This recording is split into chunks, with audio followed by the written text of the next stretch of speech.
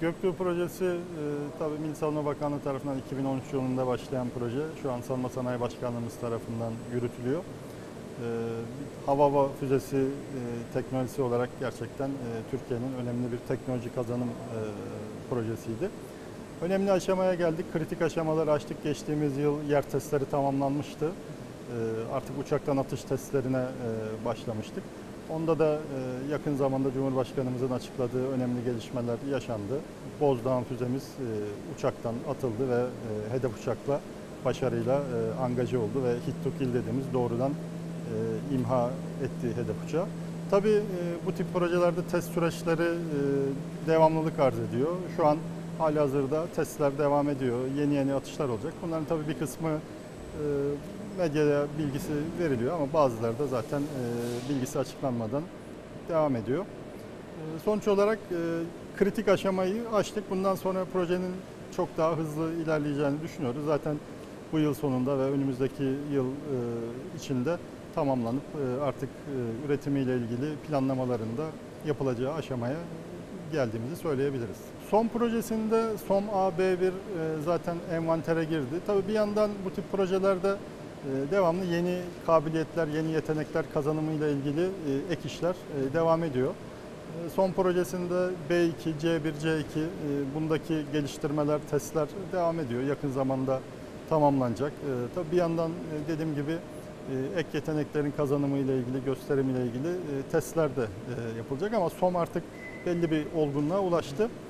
E, SOM tabii e, İHA'lara takılabilecek bir e, seyir füzemiz ama bir yandan da SOM-J e, esasında devam ediyor. E, Roketsan ana yükleniciliğinde yaptığımız bir proje. SOM-J'de de önemli aşamalara geldik. Çok yakında F-16'dan e, atışları da planlanıyor. SOM-J tabii e, İHA platformları için özellikle Akıncı, Aksungur gibi İHA, platformları için daha da avantajlı. Dolayısıyla İHA platformlarında belki SOM'dan ziyade SOM-J'yi e, görebileceğimizi ben düşünüyorum. SOM-J e, biliyorsunuz F-35 e, iç istasyonu için geliştirilen temel olarak bir seyir füzesi olmakla beraber hem F-16'da hem milli muharip uçağımızda da iç istasyonunda kullanılabilecek çok yetenekli, önemli bir seyir füzemiz. Dolayısıyla İHA tarafında çoklu taşıma imkanları da sağlayacağı için e, SOMC'yi ben görebileceğimizi düşünüyorum. Entegrasyonla ilgili zaten bazı çalışmalar da başladı. İlk önce F-16 mı olur yoksa İHA'la test mi olur? F-16 ilk atışlarımızı, ilk testlerimizi F-16'dan tamamladıktan sonra e, hızla bu yıl içinde e, İHA'larda da önemli yol alacağımızı düşünüyorum. Milli Muharip Uçak tabii çok önemli bir proje. Türkiye'nin projesi. E, TAİ'nin e, ana yüklenicinde yürüyen bir proje ama TÜBİTAK SEG olarak biz de e, Milli Muharip Uçağın e, projesinin belli iş paketlerinde paydaşlığını yürütüyoruz. Şu an hali hazırda yürüyen sözleşmemiz e, var. Tabii e, ilk etapta e, yerli ve milli mühimmatların milli muharip uçağı entegrasyon tarafıyla e, ilgili çalışmalar yürütüyoruz. E, Bu konudaki e, çalışmalar devam ediyor. Yürüyen bir projemiz var. E, Tabii bunun dışında başka milli muharip uçak çok büyük bir proje. E, Farklı iş paketleri içinde de e, görüşmelerimiz e, sürüyor. Biz kendi yete- yeteneklerimiz, kabiliyetlerimiz e, ölçüsünde e, TAI ile beraber e, bu projede önemli roller üstleneceğiz. Yakın görüşmelerimiz devam ediyor. Kiti tabii bizim de çok önemsediğimiz bir sistem, bir güdüm kiti. E, F-16'larla 110 kilometrenin üzerindeki hedeflere angaje olabilen bir güdüm kiti.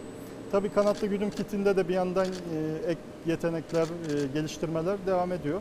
Geldiğimiz süreçte e, yakın zamanda özellikle algoritma ve yazılım tarafında yaptığımız geliştirmelerle Aksungur İHA'dan 30 kilometreye başarılı bir atış gerçekleştirdik ve biz yapılacak çalışmalarla çok kısa vadede bunun 50 kilometre üzerine de SİHA'lardan kanatlı güdüm kitinin ulaştırabileceğimizi görüyoruz. E, KGK SİHA olarak bir e, varyantını geliştirmiş olduk. E, Hem Akıncı hem Aksungur ilerideki e, muhtemel e, SİHA'larda kullanımında olacak stratejik bir ürün olarak görüyoruz. E, İtkisi olmamasına rağmen çok uzun mesafelere aerodinamik yapısı sayesinde ulaşabiliyor.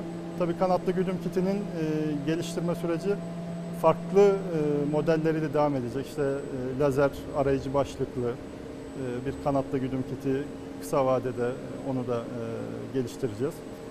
Buna benzer yetenekler kanatlı güdüm kiti kazanacak. Gerçekten stratejik bir ürün. Hem jet uçaklarında hem e, SİHA'larda e, çok etkin olarak kullanacağız. Zaten hali hazırda envanterde de çok yüksek rakamlarda yani adet vermeyeyim. Envanterimizde de yer alan bir ürün. E, Ürün gelişim e, ömrü boyunca e, çok farklı yetenekler kazanacak. Sistemi Türkiye'nin bundan sonraki çok önemli bir ihtiyacı. E, Zaten işte Hisar projesinin e, bilgisi paylaşılıyor. Hisar projesinde önemli bir aşamaya gelindi. E, Bir yandan bizim de içerisinde olduğumuz Siper projesi devam ediyor. O da Türkiye'nin katmanlı e, hava savunmasının çok önemli bir e, parçası olacak. Tabii e, hava savunma şu an e, savunma sanayinin belki de çok e, öncelikli işlerinden biri. E, Şu an bizim e, hava savunma olarak tabii Göktuğ projesi e, dünyadaki örneklerine de baktığımızda hava hava füzeleri e, yapıları gereği e, çok e, agile olmaları açısından doğru kelimeyi Türkçesini bulamadım şu an.